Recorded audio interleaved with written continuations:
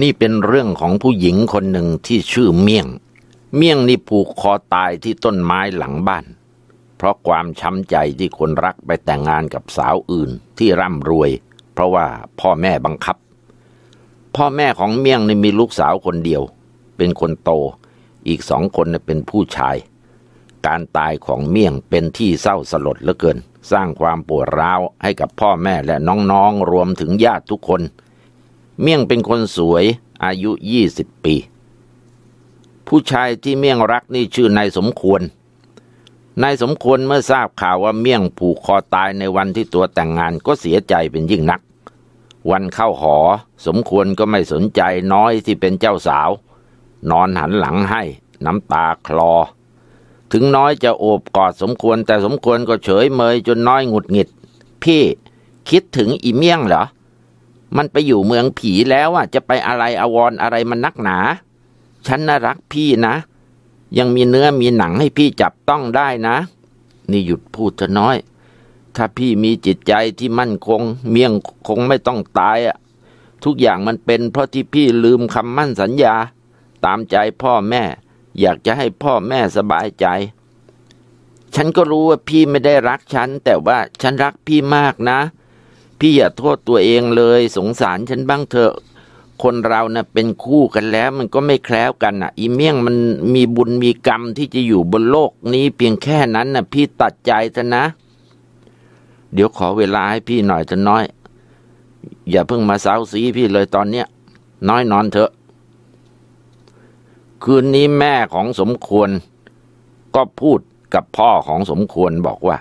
นางสีนะ่ะมันไม่น่าจะเอาเรื่องอีเมี่ยงผูกคอตายมาพูดในงานแต่งลูกเราเลย ถึงจะรู้ว่ามันผูกคอตายแต่เช้ามืดก็ไม่ควรที่จะเอามาพูดมาบอกเล่าให้ชาวบ้านเขาฟังในงานมงคล มันน่าตบปากสักที ไม่น่าเชิญมันมางานเลย ปากหมาจริง ๆ พ่อก็บอกว่า ช่างมันเถอะนะเราเองก็ผิดที่บังคับใจลูก คนมันรักกันมานานแค่ไหนเราก็ไม่รู้นางเมี่ยงมันก็สวยใครๆก็หลงรักมัน แต่มันก็ไม่เคยสนใจใครนอกจากลูกเรา พรุ่งนี้จะตักบาตรทำบุญให้มันสักหน่อย เตรียมของให้พ่อด้วยนะ อืมอืมได้ เดี๋ยวฉันก็จะไปใส่บาตรด้วย มันจะได้จบจบกันไป งานศพมันคงไม่ไปอะพ่อแม่มันคงจะชังน้ำหน้าบ้านเราอะหืม ปรากฏว่าคืนนั้นเมื่อแม่นอนหลับไปก็ฝันเห็นเมี่ยง พวกมึงไม่ต้องมาใส่บาตรให้กู ข้าวชามแกงชามน่ะมันแลกกับชีวิตกูไม่ได้หรอก เพราะความโลภของมึงสองคนนะถึงบังคับให้ลูกแต่งงานกับคนรวย มึงตายไปมึงเอาไปได้ไหม ต่อไปบ้านมึงจะมีแต่ความชิบหายไปเรื่อยๆ เมียงเนี่ยมายืนด่าหน้าตาเขียวคล้ำในตาดุดัน และดูน่ากลัว โอ้ยมึงตายไปแล้วก็ไปที่ชอบที่ชอบเถอะ อย่ามาผูกใจเจ็บอาฆาตมาดร้ายอะไรพวกกูเลยมันบาป อ๋อ มึงพูดคำว่าบาปเหรอ คนอย่างมึงรู้จักคำว่าบาปด้วยเหรอ มันสายไปซะแล้ว ถ้ากูไม่เห็นแก่เด็กที่จะเกิดนะ กูจะให้อีสมใจลูกมึงน่ะ คลอดลูกไม่ออกให้มันตายทั้งกลม ดูสิมึงจะเสียใจไหม แต่นี่กูสงสารเด็กที่มันไม่รู้เรื่อง กูก็จะละเว้นให้ แต่มึงสองคนผัวเมียเนี่ย กูจะไม่ยกโทษให้หรอกสะพ้ายมึงด้วย มันก็รู้ว่ากูกับพี่สมควรนะรักกัน มันยังแย่งไป มึงจำไว้ถึงกูจะตกนรกหมกไหมยังไงกูก็จะยอม อีเมียง กูขอร้องละไหนไหนมึงก็เลือกที่จะตาย มึงก็ตัดอกตัดใจซะเถอะวะ กูไหว้ละ เสร็จแล้วแม่ก็ยกมือไหว้ มึงไม่ต้องมาขอร้องกู พ่อแม่กูเขาก็ต้องเสียใจในการกระทำของกู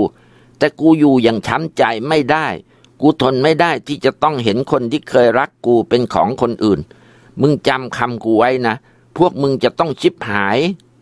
เสร็จแล้วร่างของเมี่ยงก็หายไป แม่ตื่นขึ้นมาก็รู้สึกกลัวก็ปลุกพ่อเล่าเรื่องความฝันให้ฟัง พ่อก็บอกว่า ถึงมันจะไม่รับบุญรับทานที่เราทำให้ แต่เมื่อเราทำผลมันก็จะกลับมาที่เราต่อไป ต่อไปนี้เราก็มันทำบุญเข้าไว้ บางทีผลบุญอาจจะช่วยให้ผีอีเมี่ยงมันทำอะไรเราไม่ได้ พ่อว่าอย่างนั้นแม่ก็เห็นดีด้วย ทางด้านสมควรก็ฝันเห็นเมี่ยงมาหาที่หน้าบ้านร้องเรียกสมควร สมควรก็ดีใจวิ่งลงจากบันไดลงไปกอดเมี่ยงไว้ เมี่ยง นี่เองมาหาพี่เหรอโอ้เนื้อตัวเย็นเชียบเชียว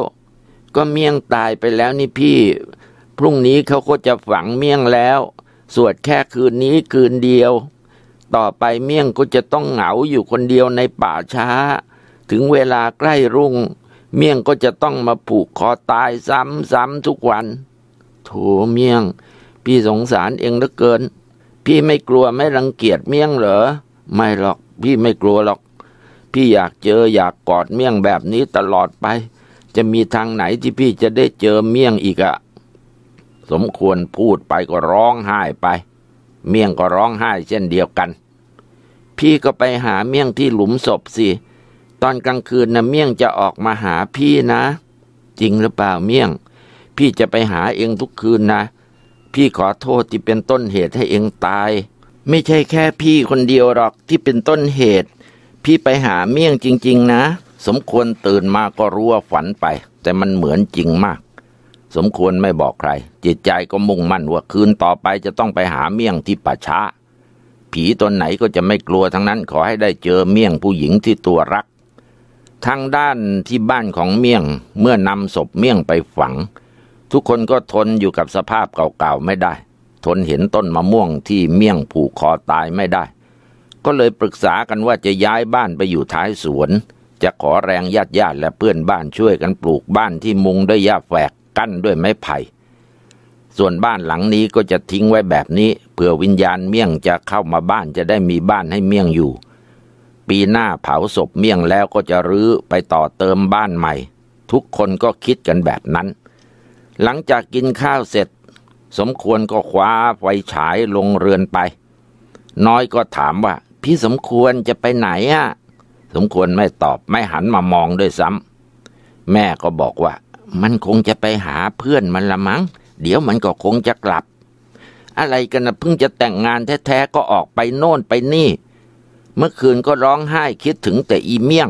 อีผีเปรตนั่นตายแล้วไม่ตายเปล่านะเอาใจพี่สมควรไปด้วย น้อยก็พูดอย่างอารมณ์เสีย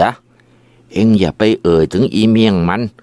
ไม่นานไอ้สมควรมันก็ลืมอีเมี่ยงไปเอง เองเอาอกเอาใจมันเข้าเถอะ เดี๋ยวมันก็ดีขึ้น ฝ่ายสมควรก็ไปมองหาหลุมศพของเมี่ยง ก็เห็นหลุมที่มีดอกไม้วางไว้เต็ม มีชื่อเมี่ยงอยู่ที่ป้ายปักไว้ สมควรก็นั่งลงข้างๆ น้ำตาไหลนองหน้า เมี่ยง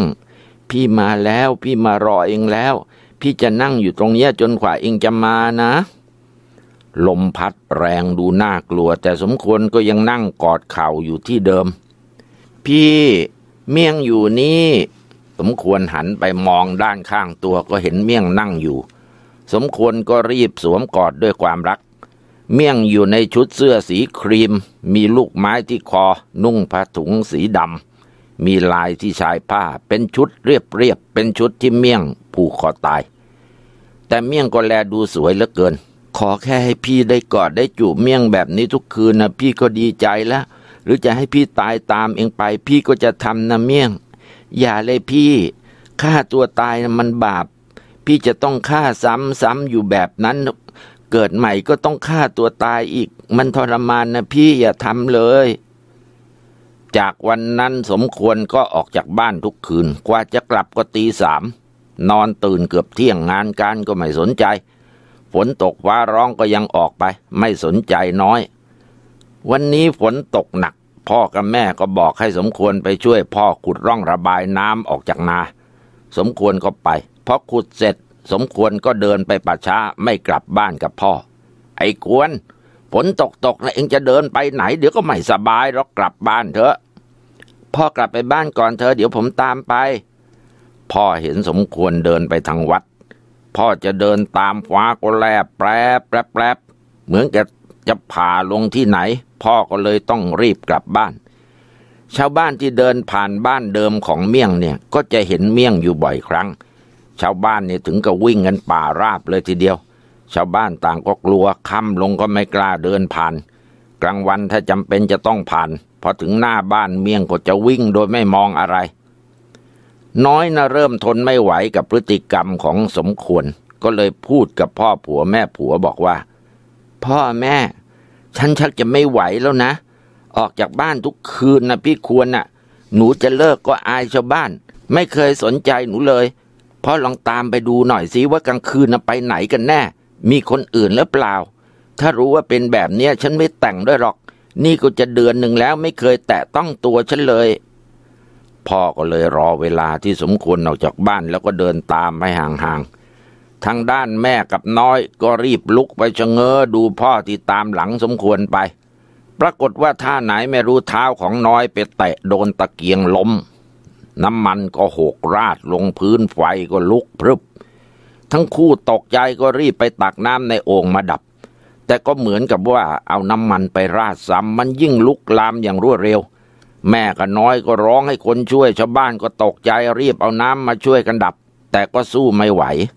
แม่ได้แต่หยิบเงินทองติดตัวมา อย่างอื่นก็เอาอะไรออกมาไม่ได้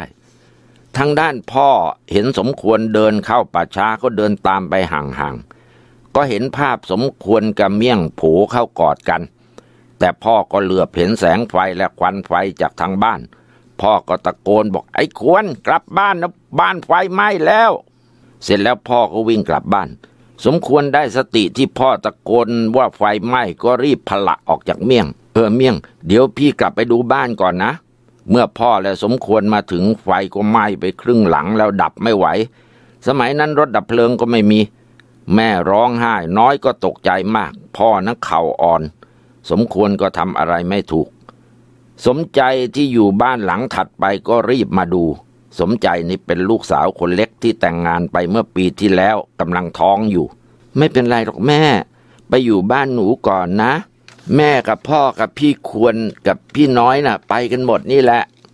ลูกเขยก็บอกว่า ที่บ้านผมมากว้างขวางไปเถอะไปอยู่กับผม เดี๋ยวขายข้าวเก็บค่าเช่าได้แล้วค่อยปลูกบ้านใหม่ เมื่อย้ายมาอยู่บ้านสมใจ พ่อก็แอบเล่าเรื่องสมควรให้ทุกคนฟัง ว่าสมควรนะไปหาผีเมี่ยงที่ป่าช้า ทุกคนตกใจก็เลยปรึกษากันว่าจะไปบอกเรื่องนี้กับเจ้าอาวาสแล้วก็จะไปขอร้องพ่อกับแม่ของเมี่ยงให้เผาศพเมี่ยงเสีย วิญญาณเมี่ยงจะได้ไปผุดไปเกิดสักที เมื่อสมควรนอนหลับ พ่อแม่น้อยและน้องเขยก็ไปวัดกัน ให้สมใจอยู่บ้าน และเมื่อท่านเจ้าอาวาสทราบเรื่องก็บอกว่า อืม คงจะไม่ได้การซะแล้ว รีบไปบอกพ่อแม่โยมเมี่ยง แล้วก็ผู้ใหญ่บ้านกำนันมาที่วัดด้วยเถอะ ว่าจะเอายังไง ทุกคนต่างก็แยกย้ายกันไป ไปตามทุกคนมา และพ่อก็ได้เล่าเรื่องทั้งหมดให้ทุกคนฟังต่อหน้าท่านเจ้าอาวาสก็ตกลงกันว่าจะขุดร่างของเมี่ยงมาเผาภายในสามวันค่ำนี้สมควรเตรียมจะลงจากเรือน พ่อกับแม่ก็ดึงตัวไว้ บอกว่ารู้เรื่องหมดแล้ว ตัดใจซะเถอะ พรุ่งนี้ก็จะขุดร่างเมี่ยงขึ้นมาทำพิธีแล้วก็จะเผาเลย ไม่รอปีหน้าแล้ว สมควรร้องไห้ขอไปร่ำลาเมี่ยงเป็นครั้งสุดท้าย แต่ทุกคนก็ดึงไว้ สมควรก็สะบัดจนหลุดแล้วก็วิ่งไปป่าช้า พ่อกับน้องเขยจะตามไป สมใจก็ห้ามไว้ บอกว่าอย่าไปเลย ตอนเนี้ยเมี่ยงเขาคงจะรับรู้แล้วว่าจะต้องถูกเผา คงจะกำลังโกรธพวกเรา น้อยก็เห็นด้วย สมควรกับผีเมี่ยงนี่ร้องไห้อะไรอาวรในความรักที่มีต่อกัน เมื่อฟ้าเริ่มสาง เมี่ยงบอกว่าจะต้องไปผูกคอแล้ว สมควรก็เดินมาเอาขวานที่บ้าน ไปตัดต้นมะม่วงทิ้ง สมควรบอกว่าต่อไปเมี่ยงไม่มีต้นมะม่วงต้นนี้แล้ว เมี่ยงจะได้ไม่ต้องผูกคอตายอีก เมี่ยงจะไปสู่สุขติภพเมื่อถึงวันเผาเมี่ยง ชาวบ้านก็มาร่วมงานกันมากมาย น้องชายของเมี่ยงก็บวชหน้าไฟให้ สมควรก็กลับมาขยันทำงานเช่นเคย แล้วก็มันทำบุญให้เมี่ยง แต่ก็ยังทำใจให้รักน้อยไม่ได้ ปีถัดมาน้อยขอเลิกกับสมควร ก็ทำให้สมควรรู้สึกสงสาร ก็บอกน้อยว่าไม่ต้องเลิกหรอก ต่อไปจะสนใจน้อยจะไม่ให้น้อยต้องอับอายใคร น้อยก็ใจอ่อน ไม่นานน้อยก็ท้อง สร้างความดีใจให้กับทุกคน ส่วนสมใจนั้นลูกก็ได้สองขวบแล้วเป็นผู้ชาย ผีของเมี่ยงก็เงียบหายไปตั้งแต่วันเผา เคยเข้าฝันบอกลาพ่อแม่ของเมี่ยงและสมควรเพียงครั้งเดียวเท่านั้น แล้วก็หายเงียบไปเลยครับ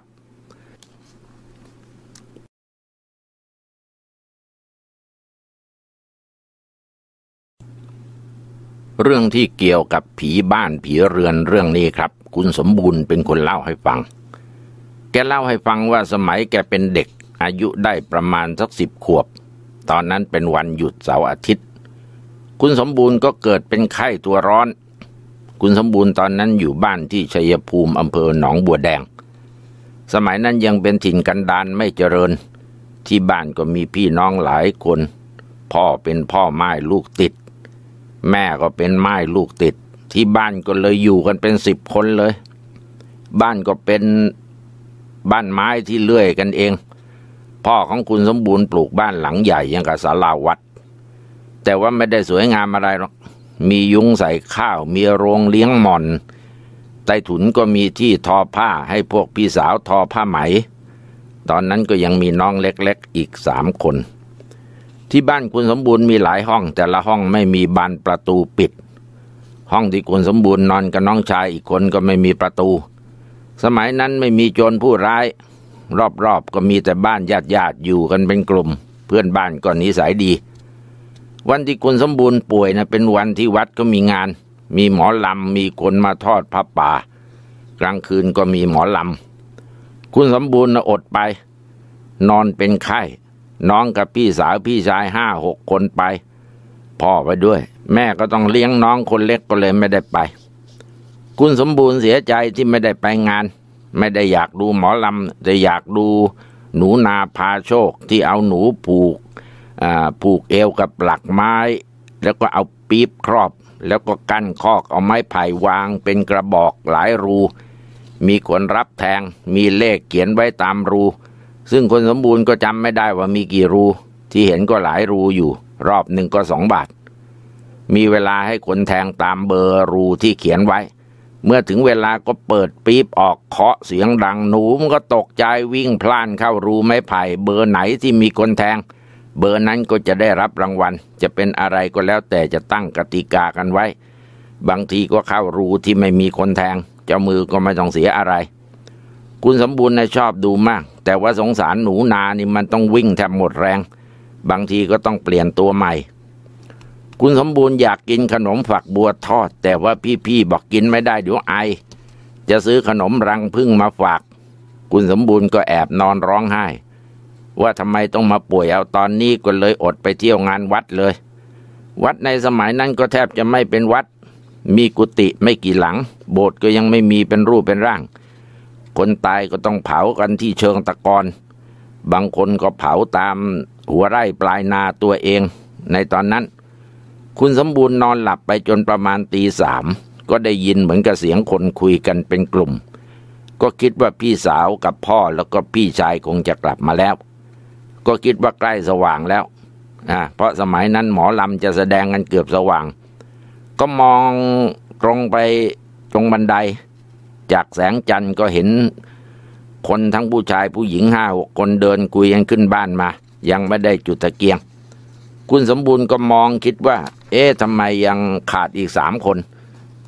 ผู้หญิงสองคนนะไปยกหม้อนึ่ง บนเตาไฟมาล้าง แต่ไม่มีเสียง อีกคนก็เอาหวดนึ่งข้าวมา เอาข้าวเหนียวที่พี่สาวแช่ไว้ในหวด เอาไปวางบนหม้อนึ่ง เอาฝาปิด ไม่มีเสียงอะไร แล้วก็เห็นผู้หญิงอีกคนไปเอามีดมาปอกมะละกอ แล้วก็คนที่นึ่งข้าวก็ยก อ่ายกครกมา ผู้ชายอีกสองคนก็นั่งคอยอยู่ด้านหน้าห้อง ที่คุณสมบูรณ์นอน เอาพัดที่พี่ๆเขาทำขึ้นมาเองมานั่งพัดคลายร้อน คุณสมบูรณ์เห็นทุกอย่าง แต่ก็คิดว่าเป็นพี่ แต่ก็อดแปลกใจไม่ได้ว่าทำไมไม่จุดตะเกียงกัน จนเห็นว่าข้าวสุกทุกคนก็ล้อมวงกินข้าวเหนียวกับส้มตำแล้วก็คงจะมีแจวบองด้วย คุณสมบูรณ์คิดอย่างนั้น สักพักใหญ่ก็ได้ยินเสียงพี่ชายพี่สาวของตัวเองคุยกันพากันเดินขึ้นบ้านมาครบเก้าคนรวมทั้งพ่อด้วย ผิดกับตอนที่กลุ่มแรกมา อ่ากลุ่มแรกมาเนี่ยคุยกันเป็นเสียงที่จับจับใจความไม่ได้เลย คุณสมบูรณ์เห็นคนที่นั่งล้อมวงกันเมื่อสักครู่นี้หายไปเหมือนกับไม่มีอะไรเกิดขึ้น คุณสมบูรณ์รู้ว่ามันก็คือผีก็ร้องไห้จ้าเลยฉี่ราดเต็มที่นอน พี่ชายจุดตะเกียงพ่อก็เอาตะเกียงมาส่องดู ว่าเอ็งร้องทำไมไอ้บูนพ่อเขามาก็เปิดมุ้งขึ้น เห็นผีในอีพ่อคุณสมบูรณ์บอกอย่างนั้น พ่อก็เลยวางตะเกียงดึงคุณสมบูรณ์ให้ลุกขึ้น พูดภาษาอีสานที่แปลเป็นไทยว่าไม่เป็นไรนะพ่อมาแล้วนะ เสร็จแล้วพ่อก็พาคุณสมบูรณ์มาล้างก้นที่เปียกฉี่แล้วก็เรียกให้แม่เอายามาป้อนให้คุณสมบูรณ์ใหม่ แม่พับผ้าสรงให้สั้นนุ่งให้คุณสมบูรณ์ พี่สาวก็ลากที่นอนที่เปียกฉี่ออกมาเอาเสือปูใหม่ พี่สาวพี่ชายก็ถามคุณสมบูรณ์ว่ามึงเป็นอีหยังอะผีมันอยู่ใสอ่าคุณสมบูรณ์ก็เลยเล่าให้ฟัง พ่อก็บอกว่าบอกเป็นหยังดอก เปิ้นเป็นผียาวผีเหือน เปิ้นบ่เฮ็ดอีหยังออกเดี๋ยวแล้วพ่อก็เอาได้มาผูกแขนเรียกขวัญอ่า กลับมาพวกพี่ก็นึ่งข้าวทำแกงอีสานไว้ตำส้มตำกินกันตามประษา แล้วก็พากันนอน พี่ก็มีขนมรังพึ่งมาฝาก แม่ก็ป้อนขนมให้คุณสมบูรณ์ กินได้นิดหน่อยคุณสมบูรณ์ก็กินไม่ลง แม่ก็เลยบอกให้เข้าไปนอนต่อ ฟ้ายังมืดอยู่ พ่อก็จุดธูปไหว้พระ ปัจจุบันนี้คนสมบูรณ์มาได้ดิบได้ดีอยู่ทางภาคกลาง พ่อแม่ก็เสียหมดแล้ว แต่คุณสมบูรณ์ก็บอกว่าไม่เคยลืม คืนที่เห็นผีบ้านผีเรือนไปเที่ยวงานวัดนั่นเลย มันคือประสบะการณ์จริงที่คุณสมบูรณ์เคยเจอมาครับ อีกเรื่องหนึ่งเป็นเรื่องที่ในพุทธเล่าให้ฟัง ในพุทธเนี่ยบ้านเดิมอยู่ทางอีสาน แต่เขาไม่ยอมบอกว่าจังหวัดอะไร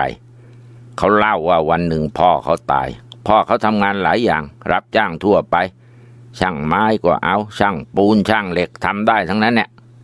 เรื่องงานช่างนี่ทำได้อ่าเพราะว่านายพุทธนี่เคยเป็นลูกมือพ่อมา แต่จริง ๆ แล้วพ่อไม่ได้มีหัวคิดจะทำโน่นทำนี่อะไรหรอกต้องมีคนมาบอกมาสั่งถึงจะทำได้ แล้วก็อีกอย่างพ่อของเขาเครื่องมือก็ไม่มีเป็นช่างไม้ มีค้อนอันเดียว เป็นช่างปูนมีเกลียงอันเดียว เป็นช่างเหล็กก็มีเลื่อย ตัดเหล็กอยู่อันเดียวพออยู่มาวันหนึ่งพ่อตกนั่งร้านตาย พ่อน่ะเป็นห่วงเขามาก ตอนที่พ่อตายเนี่ยในพุทธอายุราวๆยี่สิบหลังจากพ่อตายแม่ก็รับทำความสะอาดตามบ้าน เก็บของขายบางทีก็ทำขนมขาย แต่ขายไม่ค่อยได้ เพราะแม่ทำไม่อร่อย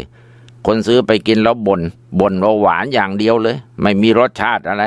กลมกล่อมชวนกินอะไรไม่มี พอมีลูกค้าบน่นตอนหลังแม่ก็เลยต้องเลิก ในพุทธก็ช่วยงานแม่ได้บ้าง อย่างชนิดว่าไปทำความสะอาดบ้าน รับจ้างซักผ้านวมผ้าห่มอะไรอย่างนี้ แต่ส่วนใหญ่แล้วจะไม่ช่วยฮะชอบเที่ยวมากกว่า ไปดูโน่นดูนี่ เกิดมาไม่เคยชอบทำงาน ทีนี้พ่อตายไปแล้ว อีกยี่สิบปีต่อมาแม่ถึงได้ตาย แม่ตายเพราะโดนฝนหนาวสั่นแล้วก็จับไข้ วันนั้นแม่เพิ่งกลับจากขอยืมเงินเขา ซื้อหอยทอดหิ้วมาให้ลูก นอนป่วยอยู่เจ็ดวันหากินไม่ได้ เขาก็ต้องขวนขวายเองลำบากที่สุด เพราะไม่เคยทำอะไรตามลำพังคนเดียว พอหลังจากแม่ตายแล้วเขาก็เห็นแม่มาที่บ้าน พ่อก็มาด้วยเหมือนกัน ส่วนใหญ่จะเห็นกลางคืนมีบางครั้งเท่านั้นที่เห็นกลางวันแสกๆที่เห็นนั่นก็เป็นรูปเป็นร่างมายืนมองดูเขาเขาคิดว่าพ่อกับแม่คงจะต้องเป็นห่วงเขาอย่างมากเลย เพราะว่าเป็นช่วงชีวิตที่เขาลำบากสุดๆ ไม่มีจะกิน ไม่มีเงินจะซื้อของ ไม่มีใครอยากจ้างไปทำงาน ขนาดว่าต้องไปเอ่ยปากขอเขาเขาก็ยังไม่อยากให้ทำเวลาได้งานทำเขาก็จะรีบรีบทำให้มันเสร็จเสร็จไปทำลวกลวกลวกลวกเจ้าของบ้านเขาไม่ชอบอ่าไม่ชอบให้ทำเร็วๆว่ามันไม่ดีไม่ละเอียดไม่เรียบร้อยเขาก็อยากจะให้ค่อยๆทำไปเรื่อยบ้านช่องเขาจะได้สะอาดชาวบ้านก็บอกว่าเขาเนี่ยทำงานหยาบว่างั้น ชาวบ้านเขาเข็ดกันหมดก็เลยไม่มีงาน หนักเข้าเขาก็คิดว่าอยู่บ้านไม่ได้เว้ยอยู่ก็อดตาย ก็เลยได้คิดว่าจะออกจากบ้านไปหาอะไรทำที่อื่น แม้จะไม่ชอบทำงาน แต่มันก็ถึงคราวจำเป็นแล้วเนี่ยเขาก็เตรียมกระเป๋าเสื้อผ้าเอาของใช้จำเป็นไป กะว่าตอนเช้าก็จะไปแต่เช้าเลย คนจะได้ไม่ค่อยเห็นว่าเขาไปไหนส่วนบ้านนั้นไม่ต้องเป็นห่วงนะบ้านไม่มีสมบัติอะไรมีแต่หม้อข้าวเตาไฟใครจะมาเอา มันเก่าเคลอะออกอย่างนั้น พอได้ยินเสียงไก่ขันก็แข็งใจลุกขึ้นมาล้างหน้า สวมเสื้อผ้าคว้ากระเป๋า แต่พอก้าวลงบันไดได้ขั้นเดียวก็สะดุ้งโยง มีเสียงเรียกจากข้างหลังจำได้ก่อนที่จะหันไปมองว่าเป็นเสียงแม่ ได้ยินชัดๆเลยเต็มสองหูพพอเขาเหลียวไปมองก็เห็นร่างของแม่ยืนอยู่ แล้วข้างๆแม่ก็มีพ่อยืนอยู่ด้วย ทั้งพ่อทั้งแม่ยืนอยู่ในความมืดสลัวตอนเช้ามืด แต่ก็แปลกที่มองเห็นได้ไม่อยากเย็น พ่อห้ามว่ายังไม่ต้องไปวันนี้หรอกอยู่บ้านก่อน เขาไม่ได้พูดอะไรสักคำเพราะพูดไม่ออกได้แต่อ้าปากค้าง เสร็จแล้วพ่อกับแม่ก็หายแวบไป เขาก็เหมือนสะดุ้งจากความฝัน แต่จริง ๆ แล้วไม่ได้นอนนะยังยืนคาที่อยู่ที่บันได พ่อกับแม่มาห้ามไม่ให้เขาไปนี่จะจะทำยังไง คิดไปคิดมาก็เลยยังไม่ไป ค่อยไปวันหลังก็ได้ พอสว่างดีเขาก็ได้ยินข่าวชาวบ้านโจดขานกันว่ารถชนกันที่ปากทางหมู่บ้าน เป็นรถสองแถวจากหมู่บ้านที่รับส่งแม่ค้าเที่ยวเช้ามืด ซึ่งเป็นเที่ยวที่เขาจะต้องโดยสารไป โดนรถบรรทุกพุ่งชนตอนที่เลี้ยวขวาออกไปตายหมดทั้งคันไม่เหลือแม้แต่คนขับ รวมทั้งหมดเกือบยี่สิบคนด้วยกัน เขาได้ยินแล้วหนาวสะท้าน นับว่าเป็นโชคดีของเขาที่ไม่ไป ไม่อย่างนั้นก็ตายไปกับคนเหล่านั้นด้วย ก็นึกขอบคุณพ่อกับแม่ที่ห้ามเขาเอาไว้ เหมือนกับจะรู้ว่ามันจะเกิดเหตุร้าย อยู่ต่อมาเขาอดอยากมากเขาก็ต้องออกจากบ้านแล้วทีนี้ แต่เขาบอกเล่าดวงวิญญาณพ่อแม่ก่อนว่าเขาจะไปหางานทำขอให้พ่อแม่ช่วยให้เขาหางานได้สำเร็จด้วย เขาออกไปจากบ้านโดยยังไม่รู้จะไปพักที่ไหน แต่ก็คิดว่ามันน่าจะมีที่นอนบ้าง ได้ยินว่าเขาไปนอนกันที่สนามหลวงหรือว่าตามสวนสาธารณะ มีเงินค่ารถกับเงินติดกระเป๋าอยู่นิดหน่อยก็มุ่งหน้าไป เขาเล่าว่ามันน่าแปลกที่กระเป๋ารถโดยสารเข้ากรุงเทพไม่เก็บเงินเขา แล้วพอถึงกรุงเทพไปถามแม่ค้าแก่ๆคนหนึ่งแกขายข้าวแกง บอกว่าอยากจะหางานทำแม่ค้าก็บอกว่าแหมกำลังอยากจะได้คนช่วยงานอยู่พอดี แก่แล้วทำไม่ค่อยไหว ก็เลยชวนทำงานที่ร้านมีข้าวให้กิน ที่พักก็ไม่ต้องหา พักอยู่ที่ร้านเลย มันน่าประหลาดอะไรอย่างนั้น เขาคิดว่าพ่อแม่คงจะต้องโดนใจแม่ค้า พ่อแม่ต้องช่วยเขาแน่ ๆเลย ตั้งแต่ไม่เสียค่ารถโดยสารมาเลยทีเดียว เขามาคิดว่าเขาต้องเป็นคนใหม่แล้วทำไมอย่างนั้นพ่อกับแม่ก็คงเป็นห่วงเขาตลอดไป ไม่มีวันที่ดวงวิญญาณ ทั้งคู่จะไปผุดไปเกิด เขาก็เลยตั้งอกตั้งใจทำงานขยันขันแข็ง แรกๆก็ฝืน แต่ต่อมาก็ติดเป็นนิสัย จนเจ้าของร้านเมตตาเอ็นดู รักเขาเหมือนลูกเหมือนหลาน เขาก็ดีใจที่ตัวเองเปลี่ยนนิสัยขี้เกียจได้ พ่อแม่ก็คงจะดีใจเหมือนกัน แล้วก็คงจะหมดห่วง เพราะไม่เคยมาให้เห็นอีกเลยครับ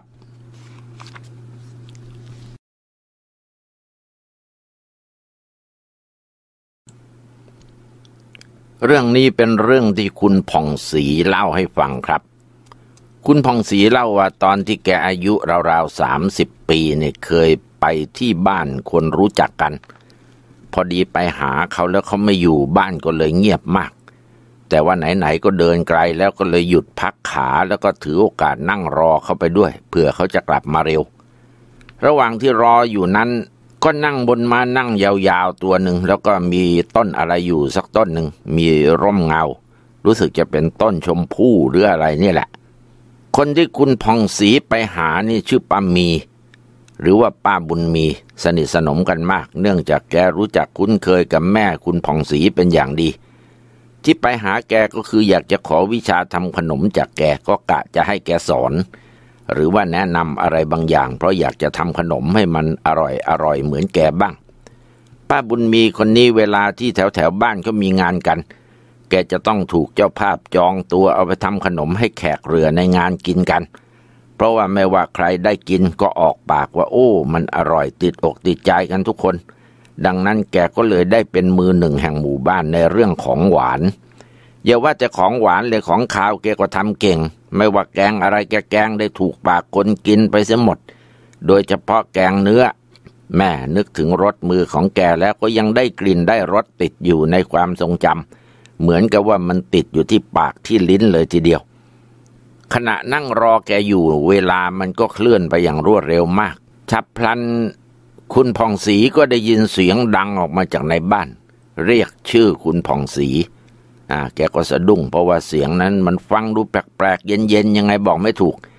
แต่จำได้ว่าเป็นเสียงป้าบุญมีอย่างแน่นอน ก็รีบถามไปว่าป้าอยู่บ้านเหรอ ก็ไม่ได้ยินเสียงตอบออกมา ก็เลยบอกว่า เออ เดี๋ยวฉันขอเข้าไปในบ้านป้าแล้วนะ ฉันมานั่งรอป้าอยู่นานแล้ว แกก็ไม่ตอบว่าอะไร คุณผ่องศรีก็เลยถือโอกาสเดินเข้าไป พอดีว่าบ้านแกไม่ได้เลี้ยงหมาไว้แม้แต่ตัวเดียว ก็เนื่องจากหมาของแกที่เคยเลี้ยงไว้นั้น มันโดนยาเบื่อตายไปหมดทั้งสามตัวเลย แกก็ยังไม่ได้ไปหาหมาตัวใหม่มาเลี้ยง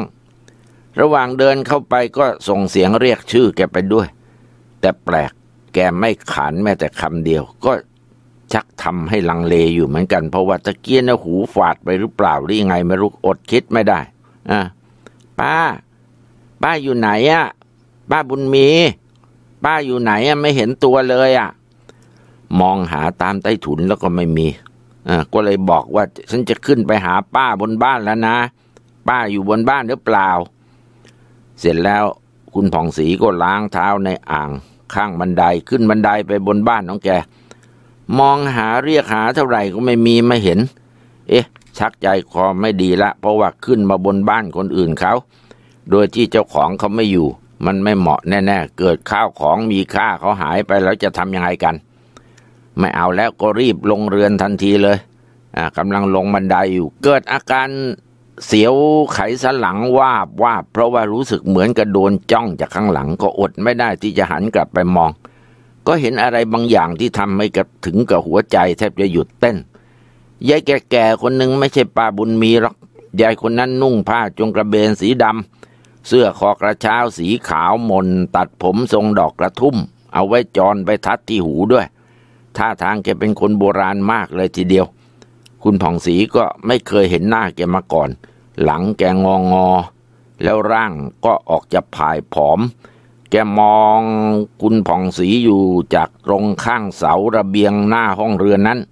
มองจ้องเป่งโดยที่ไม่ละสายตาไปทางอื่นเลยทีเดียว คุณผ่องศรีจะรีบลงเรือนหนีแกไปมันก็ไม่ใช่เรื่อง เพราะเท่ากับเป็นคนไม่ดีแอบทำความผิดอะไรสักอย่าง แล้วก็ต้องรีบเพ่นหนีอะแกไม่ได้ทำอะไรผิดนี่ ก็แค่มาหาป้าบุญมี คุณผ่องศรีก็ถามแกไปว่ายายป้ามีไม่อยู่เหรอแกไม่ตอบไม่พูดอะไร มองอย่างเดียว จ้องหน้ากลัวจังท่าทางสายตาของแกไม่ค่อยชอบ หูแกอาจจะไม่ดีก็เลยถามซ้ำอีกสองสามรอบ ส่งเสียงให้ดังกว่าเดิมก็ไม่ได้ผลก็ยังยืนทื่อแล้วก็มองจ้องไม่เปลี่ยนแปลงไม่ขยับเนื้อขยับตัวด้วย เหมือนยังกับแกเป็นหุ่นไปซะแล้วอย่างนั้นแหละ ก็ถามไปอีกทีว่าป้ามีไม่อยู่ใช่ไหมจ๊ะ ก็ไม่ตอบ ก็เลยบอกไปว่า งั้นฉันก็กลับก่อนแล้วละ่ะแล้วจะมาหาแกใหม่ บอกแกด้วยแล้วกันนะ ยาย คุณผ่องศรีรีบลงบันไดโอ้ไม่ไหวแล้ว กลัวแกจนขนลุกเกลียวเลย แกเป็นคนหรือเป็นอย่างอื่นกันแน่ก็คิดสงสัยอยู่ไม่หาย ขนาดว่าลงจากบ้านมาแล้วยังเกิดความอยากจะรู้ว่าแกเป็นคนหรือไม่ใช่คน ทั้งๆทที่กลัวกลัวแกนั่นแหละ แต่ก็อดที่จะแอบดูแกไม่ได้ แอบมองจากใต้ถุนบ้านมองรอดกระดานขึ้นไป แกก็ยังยืนอยู่ตรงนั้นเหมือนเดิมมาแหละแล้วที่ทำให้คุณผ่องศรีเกือบจะล้มทั้งยืนก็คือ เห็นแกไม่มีหัว แกไม่มีหัวไม่มีหน้า ลำคอแกขาดด้วน คุณผ่องศรีแทบเสียสติเลยจะเป็นลม รีบสูดลมหายใจแล้วก็รีบวิ่งออกมาจากบ้าน พรวดออกมาอยู่นอกบ้าน หันรีหันขวาง เกิดจำไม่ได้ว่าจะกลับบ้านทางไหน เหนือหรือใต้ซ้ายหรือขวากำลังงงอยู่นั้นก็ได้ยินเสียงเรียกชื่ออีก อ่า แกก็เหลียวไปตามเสียงก็เห็นป้าบุญมียืนมองอยู่อย่างสงสัยมากๆ เสียงแกถามว่าเป็นอะไรฮะป่าว่า มายังไง แล้วก็หนีอะไรมา คุณพองศรีเห็นแกแล้ว แต่ไม่แน่ใจว่าจะเป็นตัวแก หรือว่าเป็นผีแปลงตัวมาในเวลาเย็นย่ำแบบนี้ เขาว่าผีเนี่ยมันจะมีพลังขึ้นมาเมื่อแสงตะวันอ่อนล้าลงมากแล้ว ป้าบุญมีก็ถามซ้ำว่าเป็นอะไร เธอก็ตั้งสติอยู่ตั้งนาน กว่าที่จะตอบแกไป จนพูดคุยกันรู้เรื่องแล้วว่าแกไม่ใช่ผีนะ แต่เป็นป้าบุญมีเป็นตัวเป็นตนจริง ๆ ไม่ใช่แค่วิญญาณของใครแปลงร่างมาหลอกหลอน ก็เล่าให้แกฟังว่าเจออะไรมา แกก็บอกว่านั่นคงจะเป็นญาติทวดของแกที่ตายไปนานแสนนานมาแล้ว ตั้งแต่แกยังเด็กๆอยู่โน่น ไม่นึกเลยว่าดวงวิญญาณของแกยังวนเวียนอยู่ที่บ้าน แกรักเรือนหลังนี้มาก เพราะว่ามันเป็นเรือนหอแล้วก็ เรือนตายของแกด้วย เวลาหมดแล้วท่านผู้ฟังที่เคารพขอได้รับความขอบพระคุณจากผมอาจารย์ยอดพบกันใหม่วันต่อไปครับ สวัสดีครับ